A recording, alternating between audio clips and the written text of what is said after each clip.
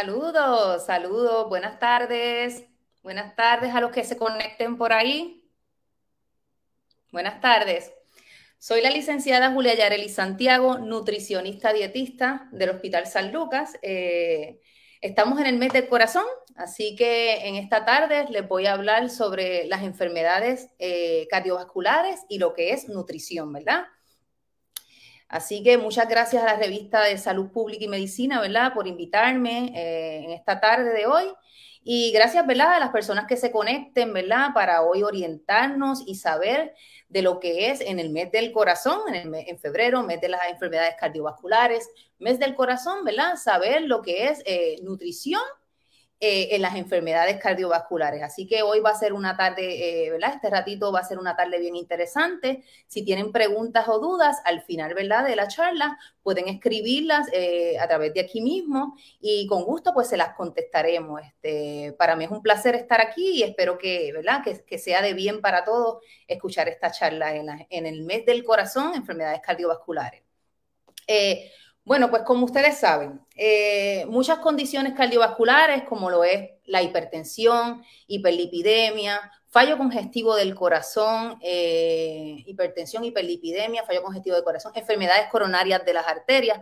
Muchas de estas condiciones vienen por el cúmulo de los años de la mala alimentación, ¿verdad? Este, eh, por el cúmulo de todos los años nosotros, ¿verdad? Alimentándonos mal, llevando una vida no saludable. Entonces, este cúmulo hace que, ¿verdad? A la larga podamos, ¿verdad? Tener alguna condición cardiovascular.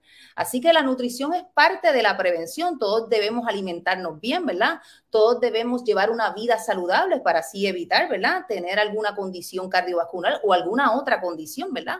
Llevar una dieta y una vida saludable. Pero si ya nosotros eh, padecemos de alguna condición cardiovascular, si ya nosotros tenemos fallo congestivo del corazón, si ya nosotros tenemos enfermedades de las coronarias, de las arterias coronarias, si ya nosotros tenemos hiperlipidemia, si ya nosotros tenemos diabetes, que aunque la diabetes no es una enfermedad cardiovascular, sí es un factor de riesgo directo de las enfermedades cardiovasculares que tienen mucho peso, ¿verdad? Hipertensión, otras. Si ya nosotros tenemos eh, a cualquier eh, de estas condiciones, nosotros sí que tenemos que llevar una dieta, no como método preventivo, yo siempre digo eso, no es un método preventivo ya, sino que es parte del tratamiento. Ya aquí la nutrición pasa a ser parte del tratamiento esencial y crucial, como mismo nos bebemos los medicamentos, asimismo también nosotros debemos de hacer una dieta si tenemos cualquier otra condición como parte, ¿verdad? Como yo siempre digo, como parte del tratamiento. Así que vamos a empezar con hipertensión, ¿verdad? Hay mucha prevalencia en, Puerto Rico, ¿verdad? De hipertensión.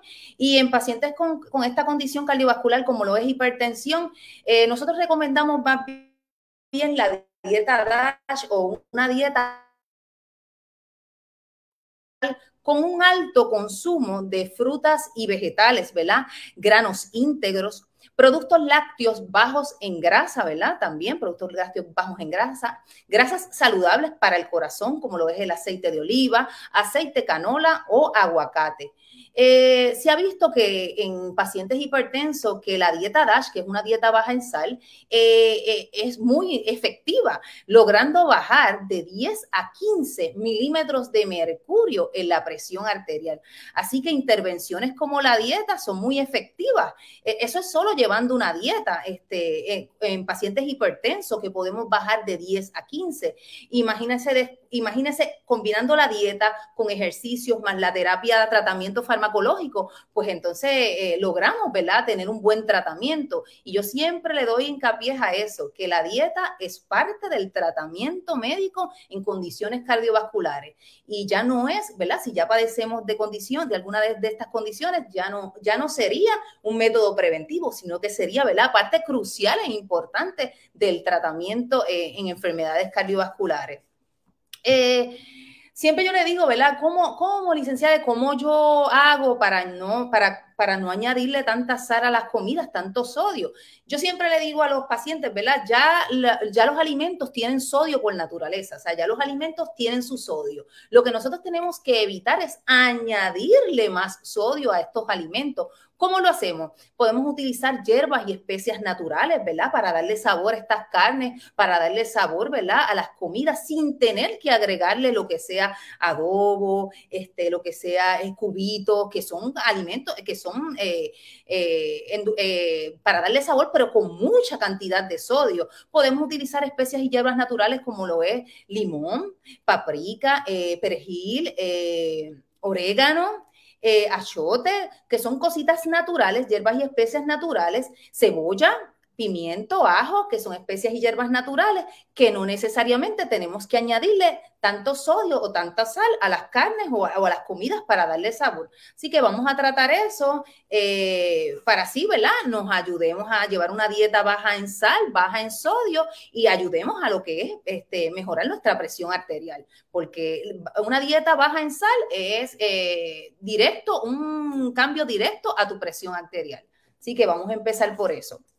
Otra de las enfermedades cardiovasculares lo es la enfermedades eh, coronarias de las arterias, la enfermedad coronaria de las arterias, que es lo que de donde provienen los infartos. Así que esta enfermedad, ¿cómo se, cómo se desarrolla? Se desarrolla pues también por malos hábitos alimentarios, una dieta alta en grasa saturada, una dieta alta en colesterol, ¿verdad? Una dieta también alta en sodio, ¿verdad? Todo esto se entrelaza, todo esto se combina, una dieta alta en sodio, una dieta alta en, productos fritos, productos con mucha grasa, con muchas grasas saturadas. Esto poco a poco predispone, ¿verdad? A que nosotros padezcamos de alguna enfermedad, de, la, de, enfermedades de, de las arterias coronarias, ¿verdad? ¿Y cuál es nuestra intervención en la nutrición? Nosotros recomendamos a este tipo de pacientes que una dieta baja en grasas saturadas, una dieta baja en colesterol, una dieta DASH también, una dieta baja en sodio, ¿verdad? Eh, una dieta alta en frutas y en vegetales porque debemos tener antioxidantes. ¿Por qué? Porque los antioxidantes evitan el proceso inflamatorio de esas arterias, evitan la progresión de la enfermedad, evitan que este colesterol, ¿verdad? Se pegue a esas arterias. Así que eh, ácidos grasos buenos, omega 3, omega 6, también evitan que esa enfermedad progrese, que esa... Eh, subimos los niveles de HDL, que es el colesterol bueno, bajamos los niveles de colesterol, ¿verdad? Total y el colesterol malo, que es LDL. Así que estos tipos de pacientes que tienen enfermedad coronaria de las arterias, eh, de las arterias coronarias, debemos de llevar este tipo de dietas, debemos llevar una dieta estricta, ya sea en grasas saturadas, grasas trans, baja en grasas saturadas, baja en grasas trans, baja en sodio, alta en fibra, alta en antioxidantes, como lo dije ahorita, ¿verdad? Para así evitar que se progrese, ¿verdad? Esta enfermedad. ¿Y dónde nosotros conseguimos, dónde están esos ácidos grasos saturados malos que nos hacen daños a las arterias del corazón y que, no, y, que, y que quieren que, esas arterias eh, se tapen? Pues ¿dónde están? Carnes rojas, tocino, manteca, mantequilla, ¿verdad? Eh, leche entera eh, también tiene sus grasas saturadas, mantecado, ¿verdad? Eh, también de origen vegetal, aunque no lo crean, aceite de coco tiene alto contenido de grasa saturada, aceite de palma tiene alto contenido de grasa saturada. Ya nosotros tenemos, ¿verdad?, que estar en el supermercado, yo siempre digo, ¿verdad? Y nosotros tenemos que estar pendientes a las grasas saturadas, a, a cuando nosotros como paciente cardiovascular tengamos un producto en nuestras manos, nosotros veamos, ¿verdad? estemos pendientes a cuánta grasa saturada tiene ese producto, a cuántas grasas trans tiene ese producto, ¿verdad? buscando que sea alto en fibra, ¿verdad? Que sea alto en antioxidantes también, para así evitar, ¿verdad? Para que nos haga bien y evitar que, nuestra enfermedad progrese, ¿verdad? buscando también los omega 3 y omega 6, que son ácidos grasos buenos, ¿verdad? Para el corazón. ¿Dónde encontramos los omega 3 y omega 6? Salmón, sardinas, semillas, nueces, ¿verdad? Son buenas fuentes de omega 3 y omega 6 y las grasas monosaturadas, que son grasas buenas, donde las encontramos en el aguacate, ¿verdad? Este, las semillas también, aceite de canola, aceitunas. Es bien importante que ustedes sepan, ah, como son grasas buenas, ¿verdad? La mantequilla de maní también, grasas monosaturadas, pero como son grasas buenas, pues voy a comer mucho, ¿verdad? No siempre hay que llevar, ¿verdad? Una, eh, una porción y una dieta balanceada, pero si vamos a escoger entre grasas saturadas y grasas monosaturadas o ácidos grasos buenos, omega 3 y 6, pues vamos a escoger lo que es bueno, vamos a coger mejor pescado que carne roja, vamos a coger aceite eh, canola, aceite de oliva, extra virgen, en vez de manteca, mantequilla, ¿verdad? Aceite de palma, aceite de coco, que tienen un alto contenido de grasas saturadas. Así que eh, es saber escoger, mi gente, es saber escoger. Otra de las condiciones, ¿verdad? Ahora vamos a pasar, ya hablamos de las enfermedades coronarias de las arterias, vamos a pasar al fallo congestivo del corazón. Eh, fallo congestivo del corazón, estos pacientes eh, tienen el corazón débil, tienen el corazón bien débil y ellos eh, necesitan una dieta restringida en líquido en líquido y en sodio. La intervención de la nutricionista en pacientes con fallo congestivo del corazón, las siglas son CHF, es muy, muy importante porque nosotros como nutricionistas le tenemos que enseñar al paciente cómo ese paciente va a contar los líquidos, ¿verdad? Porque acuérdense que este paciente no puede, e, este paciente tiene una restricción de líquidos eh, porque el corazón está débil y están propensos también a padecer de condiciones respiratorias, ¿verdad? Así que nosotras como nutricionistas, nosotros como nutricionistas le tenemos que enfocar a este paciente y enseñar a cómo va a, hacer ese conteo de líquido, porque el líquido no es tan solo agua, líquido puede ser obviamente agua, jugo, sopas, helado, gelatinas, hielo, ¿sabe? Que es, ¿verdad? Es, bien challenge eh, estos pacientes llevar ese conteo de líquido. Y estos pacientes muchas veces pueden eh, tomar de uno a dos litros de líquido solamente. Así que estos pacientes tienen que ser bien estrictos con su dieta, además de combinarla, como he hablado, con una dieta baja en sodio, porque a mayor sodio estos pacientes, a mayor sodio, ¿verdad? Más retención de líquido. Lo que queremos evitar es que estos pacientes eh, retengan líquido. Y se ha visto que estos pacientes con hacer una dieta, ¿verdad? Como la nutricionista le dice, una dieta estricta restricción de líquido y una dieta baja en sodio, estos pacientes evitan eh, episodios de descompensación de su condición, ¿verdad?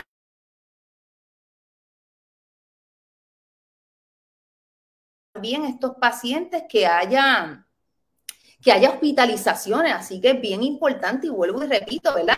Como siempre he dicho, la nutrición en estos pacientes no es un método preventivo, sino es parte del tratamiento médico, porque eh, se ha visto que estos pacientes por no llevar una dieta restringida en líquidos ni baja en sodio, puede caer hospitalizado o hospitalizado o sí, o también puede tener episodios de descompensación de su condición. Así que la nutrición es muy importante, la, la terapia médico-nutricional es muy, muy, muy importante. La diabetes, como dije ahorita, la diabetes es, aunque no es una condición cardiovascular, es un factor, es una, tenemos una alta, primero que nada, tenemos una alta prevalencia de diabetes en, en, el país. Y la nutrición, y la nutrición, y la diabetes, perdóname, y la diabetes es un factor de riesgo directo, de mucho peso en condiciones cardiovasculares. Así que los pacientes diabéticos deben cuidarse para entonces así evitar tener alguna condición cardiovascular pero como es un factor de riesgo directo, pues lo tomamos en importancia, ¿sabes? Cuando, es un paciente diabético, para así cuidarnos desde que somos diabéticos y así evitar caer a, las enfermedades cardiovasculares. Cabe recalcar que estas, ¿verdad? Como siempre digo, estas condiciones cardiovasculares no son como independientes una de la otra, sino que estas condiciones como que se entrelazan unas con otras y una te puede llevar a la otra. Eh, así que que es bien importante, ¿verdad? Que no las veamos por separado, sino que, que, que las veamos, oh, eh, esto, hiperlipidemia me puede llevar a fallo con, a, a enfermedades de la coronaria, de las arterias coronarias, este, y la hipertensión te puede llevar al fallo congestivo, así, la hiperlipidemia, así sucesivamente, así. Así que los pacientes con diabéticos tienen que tener un control, ¿verdad?, de lo que es de los carbohidratos. Eh, Los carbohidratos, yo siempre digo, no es un grupo malo de alimentos, es un grupo, nosotros tenemos que comer de todos los grupos de alimentos. Pero los pacientes diabéticos deben de estar pendientes a que esos carbohidratos no tengan azúcares añadidas, ¿verdad? Y que esos carbohidratos no sean azúcares refinadas, ¿verdad? Porque nos van a subir los niveles de azúcar en sangre. Así que deben de buscar eh, carbohidratos con gran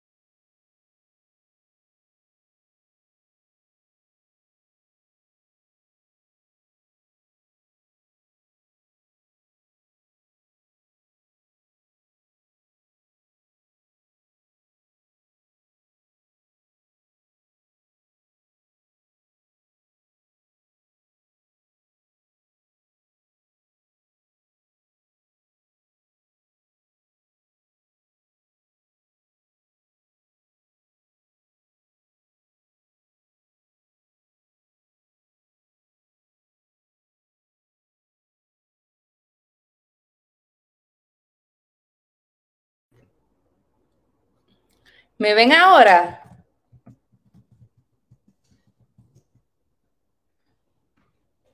Ajá, que, esos carbohidratos, ¿verdad? Ok, gracias, gracias. Eh, que esos carbohidratos, como dije, como dije ahorita, ¿verdad? Que esos carbohidratos tengan una buena fuente de fibra, que no tengan azúcar añadida. Así que la fibra es muy importante. La fibra tiene muchos, muchos beneficios. Como yo siempre digo, mira, la fibra a nivel gastrointestinal la fibra regula nuestro sistema gastrointestinal, nos alivia el estreñimiento. La fibra nos baja el colesterol, evita que ese colesterol se pegue a las arterias. La fibra también nos sube los niveles de HDL, que es el colesterol bueno, ¿verdad? Eh, y evita el progreso de la enfermedad, evita, ¿verdad? Que la enfermedad coronaria de las arterias progrese. La cantidad de fibra recomendada al día es de 25 a 35 gramos al día, así que eh, es, un, bien ¿verdad? Eh, la, cantidad de fibra, pero se puede escogiendo alimentos íntegros, escogiendo grano íntegro, escogiendo alimentos altos en fibra, ¿verdad? Eh, escogiendo alimentos altos en fibra, eh, tomando mucha agua. Así que la fibra tiene muchos, muchos beneficios. Al leer esas etiquetas, sea diabético o no, la fibra no viene mal. Este, eh, nos ayuda, tiene muchos beneficios, muchos, muchos beneficios. Así que si escogemos de los carbohidratos, unos carbohidratos altos en fibra, pues fenomenal. Este, los carbohidratos no son malos alimentos, ¿está bien? hay una falsa hay una falsa, ¿verdad? Una falsa creencia de, de, lo que es comer, ¿verdad? Fuera, de lo, fuera del hogar. Muchos pacientes piensan, ay, este, yo como afuera, pues no puedo comer bien, yo no tengo tiempo, licenciada, yo no tengo tiempo de comer, eh, de comer, eh, de cocinar, pues entonces me voy y como mal. No, mi gente, ya estamos, eh, ya hay muchas alternativas afuera del hogar. Hay pescado, hay carne blanca, métodos de cocción a la parrilla, horneada. ya hemos creado una concientización de lo que es las enfermedades cardiovasculares, de lo que es la diabetes. puedes cambiar tu, tu bebida carbonatada tu jugo por agua, ya hay muchas opciones de vegetales, integral, granos íntegros, así que eso es una, eso es una falsa, ¿verdad? Eso es falso, que no podemos comer bien cuando estemos fuera de la casa, o sea, hay alternativas, es saber escoger, mi gente, eh, escoger frutas en vez de postres, más vegetales, más granos íntegros, carne blanca, la parrilla, horneada, al vapor, este, y pues siempre y cuando cuidándonos, hay que cuidarnos, ¿está bien? Entonces, las etiquetas nutricionales. Yo siempre digo, ¿verdad? Esa es nuestra parte, enseñarlos a leer la etiqueta nutricional. Eh, todo el mundo, ¿verdad? Si se, si se está cuidando y si quiere llevar una dieta balanceada, tiene que saber lo que está comiendo. Es una, la etiqueta nutricional es una herramienta muy buena para tú saber lo que tú te estás comiendo. Y si estás en una condición cardiovascular, ¿verdad? Los parámetros nutricionales que tú tienes que estar pendiente, ¿verdad? Esos parámetros nutricionales que, que tú te vas a enfocar, ¿cuáles son? grasa total. Que el producto tenga 3 gramos de grasa total o menos por porción. Tenemos que enfocarnos también en la parte de arriba, perdona que no se lo dije antes, la parte de arriba dice serving size porción, pues eso es una porción de todo lo que está en la etiqueta nutricional. O sea que si tú te comes dos serving size, vas a tener el doble, ¿verdad? El doble de todo lo que te está diciendo ahí, que si grasa total, que si fibra, que, eh, que, que si grasas saturadas, que si grasas trans, así que... Eh, estés pendiente al serving size, a la porción. Así que cuando eh, tengamos un producto en nuestras manos, primero, paciente cardiovascular, grasa total, 3 gramos o menos por porción. Grasa saturada, un gramo o menos por porción. Eh, sodio, 140 miligramos o menos por porción. Colesterol, 20 miligramos o menos por porción, que sea una buena fuente de fibra, porque yo les hablé bien de la fibra, ¿verdad? Teniendo cuánto? 3 gramos o más de fibra por porción. Grasas trans, que eso no son grasas buenas, ¿verdad? Teniendo 0.5 o menos de grasas trans por porción. Así que vamos a estar bien pendiente de la etiqueta nutricional y bien pendiente al tamaño de las porciones, ¿verdad? Eh, que no nos vamos, vayamos a estar comiendo el doble o el triple y pensemos que, estemos, que, sea menos por no mirar eh, el serving size, la porción. Así que vamos a empezar a leer las etiquetas nutricionales vamos a empezar a cuidarnos, no solo este mes, el mes de, la, de, la, ¿verdad? De, de, las enfermedades cardiovasculares, sino que todo el tiempo de nuestro cuerpo, cuidarnos a nosotros mismos, eh, velar lo que nos comemos, ¿verdad? Porque la nutrición es método preventivo y si ya tenemos la enfermedad es parte del tratamiento. Pero si estamos saludables también tenemos que ¿verdad? llevar una nutrición saludable porque no queremos estar sobrepeso, porque no hablar de la obesidad que tiene tantas y tantas comorbilidades y tantas complicaciones que te pueden llevar a padecer de un sinnúmero de condiciones.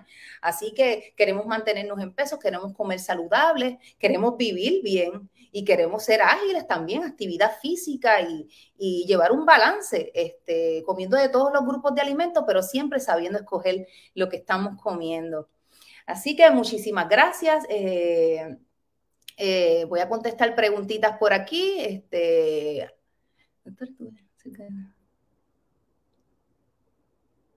pues mira, siempre comer de noche, comer tarde, eh, ha sido, ¿verdad? Tú no lo quemas, este, tú no pasas un día, bueno, te comes 9, 10 de la noche, te acuestas a dormir esas calorías, ¿verdad? No sé cuál sea tu horario, hay veces que, ¿verdad? Hay pacientes, ¿verdad? Que, que trabajan de noche, ya el horario... Eh, es, diferente. Pero yo siempre recomiendo 6, 7 de la noche, eh, de acuerdo a un horario normal, una persona que se acueste 10, 11 de la noche, 5, 6 de la tarde, tu última comida y una merienda, maybe quizás 8 de la noche, una merienda, ya sea un yogur, una fruta, este, queso bajo en grasa, este, eh, jamón de pavo, lean, magro, limpio, este, son buenas meriendas, pero yo personalmente nos recomiendo, ¿verdad? Es comer tarde en la noche para después irnos a dormir porque, pues, eh, esa comida no, no, se quema. Este, y más para pacientes cardiovasculares, tenemos que tratar dentro de todo, eh, hacer actividad física y mantenernos activos porque la vida sedentaria tampoco es, ¿verdad? Eh, eh, recomendada. Eh, hay que hacer ejercicio como parte de, también de, la dieta y ejercicio. Esto es una combinación, este, es una fórmula ganadora, como yo siempre digo.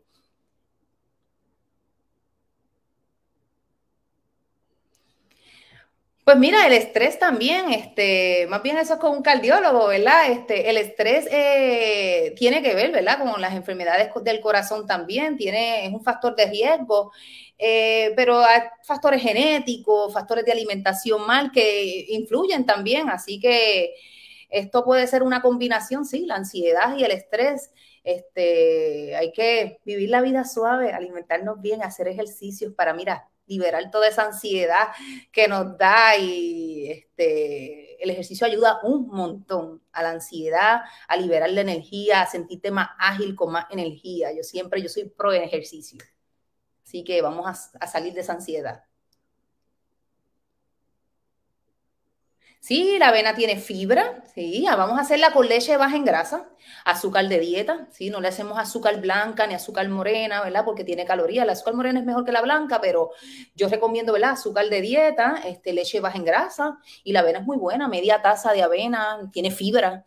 Y que yo dije de la fibra, que ayuda a bajar el colesterol, ayuda a aumentar el HDL, que es el colesterol bueno, y reduce el colesterol total. Así que la avena es muy buen alimento. Media taza, ¿está bien? Sí, el chocolate, el dark chocolate también tiene beneficios, pero eh, yo siempre digo, tengan cuidado, porque igual me pasa con el vino. Ah, el vino tiene beneficios, el vino baja el colesterol, sí, pero hay porciones, sea, es dos copas en hombre y una copa en mujer, no es beber dos botellas de vino, igual con el chocolate. Si el dark chocolate, yo prefiero que te comas el dark chocolate que el white o el milk chocolate, pero vamos con un pedacito, un serving size, poco, este, para que tener el beneficio a nivel cardiovascular, pero que también entonces no tengamos tanta azúcar, porque sí sigues teniendo azúcar.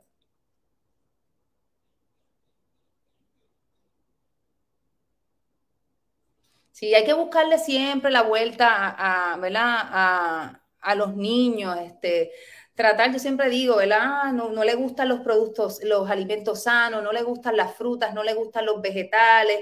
Hay opciones de integrar esto, las ensaladas, hay opciones de vinagretas bajas en sal, le puedes echar a las ensaladas nueces, semillas, frutas, strawberry, hacerlo atractivo, pero nunca cerremos la puerta, ah, no me gusta ningún vegetal o no me gusta ninguna fruta. Este, yo siempre digo que siempre hay que tratar porque está bien, no me gusta un vegetal, pero no me gusta ningún vegetal. Es como que cerrarle la puerta a tan buen grupo de alimentos. Así que vamos a tratar de incorporar vinagretas, incorporar semillas, cosas que, que ellos les gusten, buscarnos la vuelta porque vale más el beneficio de las frutas, de los vegetales, de los eh, grupos de alimentos buenos, sanos, que las cosas malas que nos van a hacer. Así que este, siempre buscando la vuelta, siempre tratando de integrar, ¿verdad? Lo que es carne blanca, vegetales, eh, quesos bajos en grasas que le pueden dar un saborcito que, que guste más, eh, frutitas, este, vinagretas, ya lo dije, nueces, aguacate.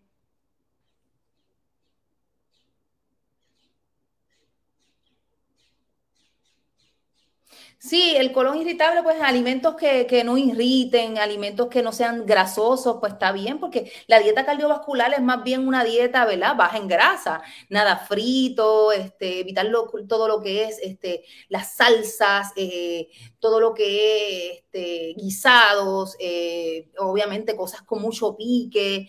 Eh, hay que evitar todo ese tipo de, todo ese tipo de alimentos para, evitar todo lo que irrite eh, y llevar una dieta bastante limpia, todo al, al horno, carne blanca, vegetales hervidos, frutas frescas, nada con mucha grasa. Así que nada, este, para mí fue un placer, ¿verdad? Este, en esta tarde de hoy. Mi nombre, vuelvo y digo, ¿verdad? Julia Santiago, Julia Yareli Santiago. Estoy en la Torre Médica San Lucas 504, en la oficina del doctor Rafael Rivera Berrío, que él es cardiólogo intervencional. Allí estamos los dos, tenemos un buen equipo. El de cardiólogo, yo de nutricionista. Este, allí se cuida tu corazón y se cuida tu alimentación. Allí este, a la orden, oficina 504, San Lucas. Yo incorporé de nuevo, ¿verdad? A lo que es mi profesión ahora. Este, estuve mucho tiempo fuera de la profesión y decidí volver a la profesión después de, mucho tiempo. Así que para dar un buen servicio, para, para ayudar en la salud, en lo que podamos, allí estamos a la orden, nos pueden llamar. Yo empiezo a ver pacientes más o menos en, en unas semanas, en, maybe en un mes, quizás en un mes. Así que los espero por allí y poder, ¿verdad? Acuérdense que cada plan es individualizado. Aquí yo hablé en general, pero ah, cada plan es individualizado de acuerdo, ¿verdad? A las necesidades y a tu, en particular, a tus condiciones y a tus necesidades en particular. Muchísimas gracias, un placer.